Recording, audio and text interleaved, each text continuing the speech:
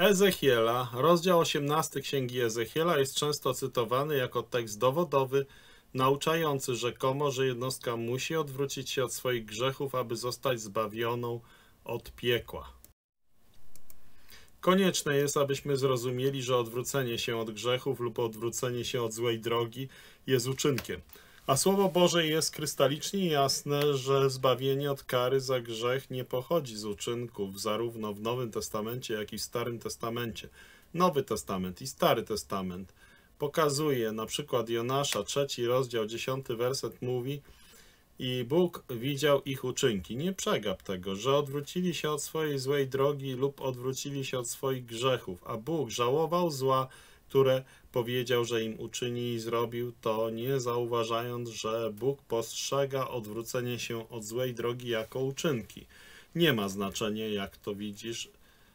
Yy, jest to wyraźnie powiedziane, że to są uczynki. Efezjan, rozdział drugi, werset ósmy mówi, że łaską jesteście zbawieni przez wiarę i to nie z was samych, jest to Boży dar, nie z uczynków, nie z odwrócenia się od złej drogi, nie od odwrócenia się od grzechów, aby się nikt nie chlubił. Jeśli zbawienie od kary za grzech byłoby przez uczynki w Starym Testamencie, to niewątpliwie mogliby się chlubić. Rzymian, czwarty rozdział, werset pierwszy mówi, co więc powiemy, że Abraham, żyjący w Starym Testamencie, y, Abraham, praojciec nasz, ojciec znalazł się w ciele, bo Gdyby Abraham był usprawiedliwiony z uczynków, to zauważ, że ma się czym chlubić, ale nie przed Bogiem. Bo jak mówi pismo, Abraham uwierzył Bogu i zostało mu to policzone za sprawiedliwość. Teraz temu, który pracuje, nagroda nie jest liczona jako łaska, ale jako należność. Ale temu, który nie pracuje, ale wierzy w tego, który usprawiedliwia bezbożnego, zwróć uwagę, bezbożnego, jego, no nie, chrzest wodny nie jest zaliczony za sprawiedliwość. Jego odwrócenie się od uczynków, od grzechów nie jest liczone za sprawiedliwość, ale jego wiara jest liczona za sprawiedliwość. Tak, werset szósty. Tak jak Dawid w Starym Testamencie lub Nowym również opisuje błogosławieństwo człowieka, któremu Bóg przypisuje sprawiedliwość bez uczynków, bez chrztu wodnego, bez odwrócenia się od złej drogi, bez odwrócenia się od grzechu. Werset siódmy mówi, że błogosławieni są ci, których nieprawości są odpuszczone i których grzechy są zakryte. Kontekstowo Ezechiela, rozdział 18, odnosi się do fizycznego sądu, a nie wiecznego potępienia. Bóg jest ostrzegającym. Bóg ostrzega przed konsekwencjami grzechu w tym życiu. I dlatego będę was sądził, domu Izraela, każdego według jego dróg, mówi Ezechiela 18 rozdział, werset 30.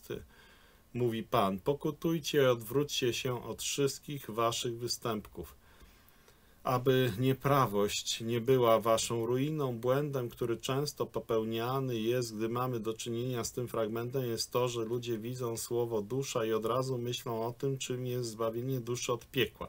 Jednak użycie tego słowa odnosi się przede wszystkim do indywidualnej osoby. Zbawienie od piekła.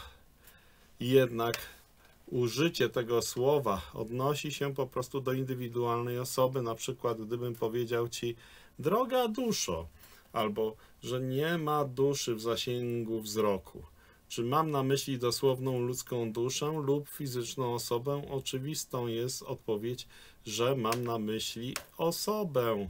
Aby dalej uzasadnić to spojrzenie na rozdział 14 Ezechiela i zaczynając od wersetu 13, Synu człowieczy, gdy ziemia zgrzeszy przeciwko mnie, dopuszczając się ciężkiego przewinienia, wtedy wyciągnę na nią rękę i złamię laskę jej chleba i ześlę na nią głód i odetnę od niej człowieka i zwierzę. Werset 14. Nie przegap tego, Chociaż ci trzej mężowie, Noe, Daniel i Job, byliby w tym miejscu fizycznie mówiąc, powinni wybawić, ale ich własne dusze przez ich sprawiedliwość, mówi Pan, zauważ, użycie słowa dusza w odniesieniu do fizycznego wybawienia od doczesnego sądu. To samo dotyczy Ezechiela, rozdział 18.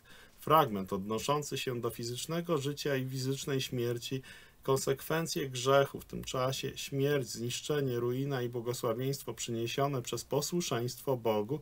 Księga Przysłów, rozdział 10, werset 27 mówi, że bojaźń Pana przedłuża dni, ale lata niegodziwców zostaną skrócone.